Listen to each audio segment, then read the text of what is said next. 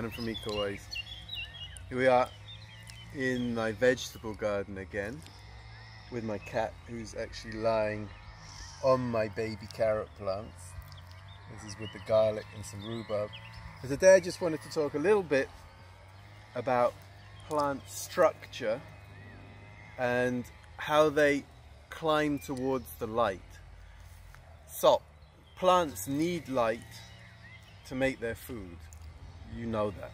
If you're studying. They photosynthesize. They're autotrophs. They make their own food. And then light is an essential part of that. Now some so plants tend to grow up towards the light. And some plants put a lot of energy into producing even things like a woody stem like this tree behind. You know, trees have woody stems and trunks and a lot of their energy goes into that. And a lot of, actually, a lot of carbon from the atmosphere is in a sink or is locked up in the wood of trees, alive trees and dead trees. And that's an important place to keep the carbon so it's not in the atmosphere, increasing climate change. That's why woodlands, one of the reasons woodlands are so important. So, trees have wood, woody stems and they're strong and they and one of the reasons for doing that is they go up high so they can get their leaves up, especially from the top of the canopy so they can get the light. And they're often in competition with each other to do that. Now there are other things that don't do it in quite the same way. Like here there's um, rucola. This is rocket and it's, not a woody stem but it's it's got quite a lot of fiber in it and it's actually hollow in the middle. But it has a hollow stem and it can, you know, this is a, perennial thing, well, it's actually an annual thing, so it dies back every year. So this woody stem will die back. It's not like a tree where the leaves fall off. Some depends on the tree, but many of them, you know, they're long-lived. These things here are short-lived, but they manage to put a lot of energy also into producing stems to keep them upright. But there are other things that take advantage of these plants that have structural stability and an architecture so they stand upright and climb up them. And there's a few good ones here. Like this one here is called um, White Bryony. Has these tendrils, these leaf tendrils. They're modified leaf leaves. And they wrap around things so they're going to grow up. And that's one of the ways you can grow up something if you're a plant, is you have these tendrils that wrap around. You can see this one here, it's the same plant. And it's actually holding on, if you look here, to the stems of this rucola, of this rocket that it's growing up. You see that's actually holding on. And there are a few plants that do that, have these modified stem, uh, these modified leaves to help them, they're called tendrils, to help them hold on. This is where they are. And these, if you had this in like a time-lapse photography, or if you filmed it over many days, or in fact over hours, these things wave around. Some go clockwise and most go anti-clockwise. This one is, I believe, anti-clockwise. And they're feeling, because you think of plants as well, but plants have got senses too. They can feel. In a sense, they can feel like this. They're, they go like this. And when they touch something, they wrap around it. They can feel it and they wrap around by growing more on the outside, the inside, and that enables them to. Same thing with, you know, plants. You think, okay, they haven't got eyes, but they can't see, but they grow towards the light. Because, say, this plant here is growing if you put it in a place where it was dark and there was just light coming from this side, the plant would go towards the light. And the way it does that is having hormones called auxins that promote the growth of this side of the plant. So the stems grow longer, the cells on the stem grow longer on this side of the plant and that will mean that it pushes it over. So plants grow towards the light. So they can't exactly see, but they're certainly very sensitive to light. There's also here my garden, look, Catkin, what are you squashing my carrots for, man? Here, there's some peas. I'm growing some peas in my garden here. They also have tendrils. I don't know if you can see that. I put these sticks and they're grabbing on. You see these little modified stem, these modified um, leaves that kind of hold on and they start to grow up. So talking about plants and plants that can climb. This is another plant that I mentioned to you in the past as we saw it a few weeks ago growing up a wild cherry tree. This is Hedera helix, Edra, or ivy. And this, this whole plant, this is a walnut plant, is covered in this ivy that's growing up it.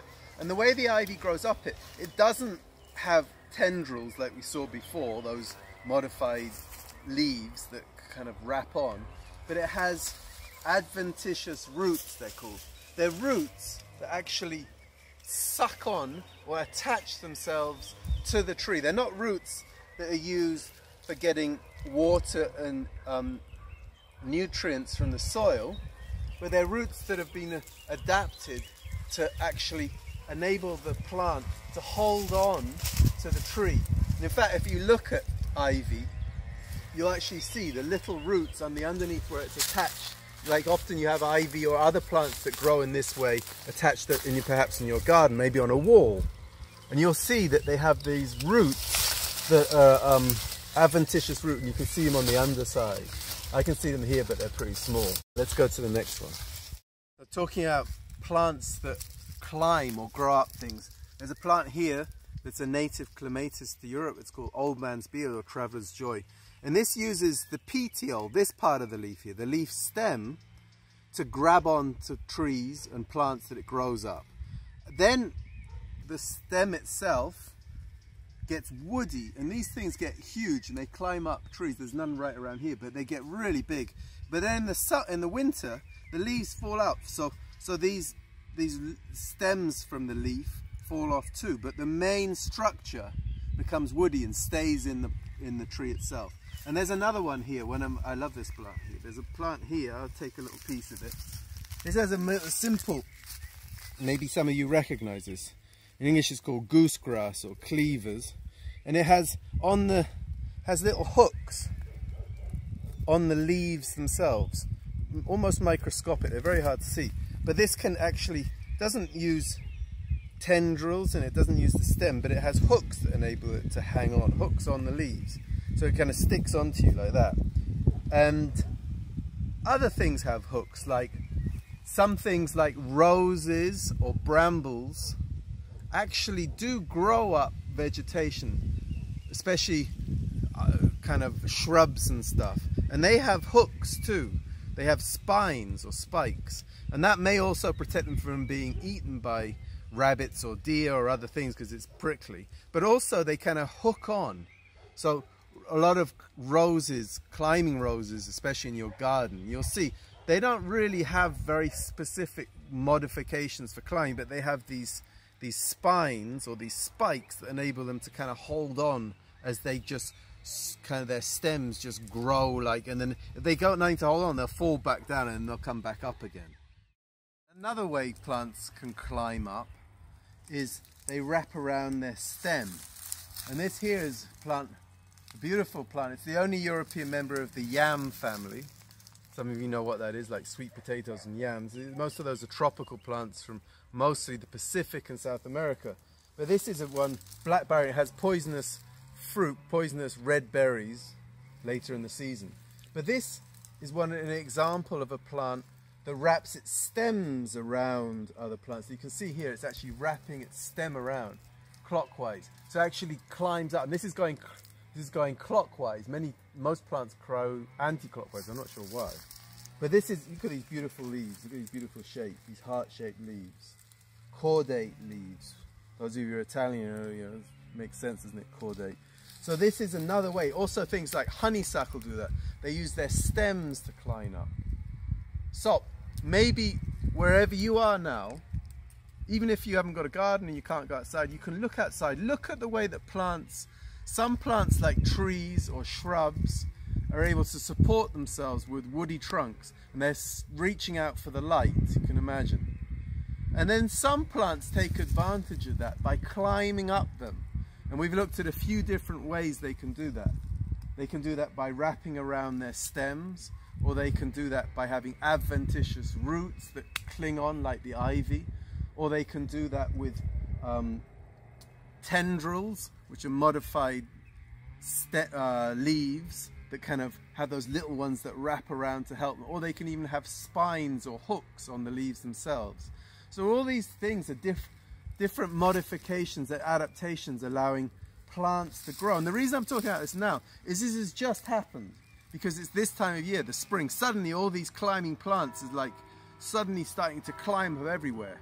which means if you've got a garden, now's the time where you, your garden will suddenly start getting overgrown with these things like in England or another place they have something called bindweed, convolvulus, that has a stem that, a climbing stem that wraps around. And things like that will start to really take over your garden now because these plants are taking advantage of this time of year because they're starting to grow and it's getting warmer, so it's the growth time. But also, the leaves on the trees are just kind of coming out now. And there's a lot of light, so these climbing plants are trying to take as much advantage of this light before they get shaded out by the leaves of the trees above. And then they also tend to flower very early. A lot of these, these this black bryonies are already just about to flower. Honeysuckle, which I've got over there, I can't show you, but it's over there. It's also starting to make buds, it's gonna flower soon. So a lot of these things are taking advantage of this light that they're getting because the leaves on the big trees are only just opening up and coming out at this time of spring. So, have a look where you are. See if you can see climbing plants. See if you can work out how they're climbing. And some of these things actually wrap on, like my peas in my garden. They actually twist around and then they actually find something and they grab onto it and they can feel it and they twist around with these tendrils and they can do it in a few hours. You can see that this is, so some people think, you know, plants don't move and they're still and they're boring, but they're not. They're very, very active and very busy, especially with these things that are growing very fast, like climbers and like tendrils that happen within hours they can hold on. Anyway, take it easy, guy, and maybe you can do a bit of climbing carefully, gently, gently, gently, but no, maybe not.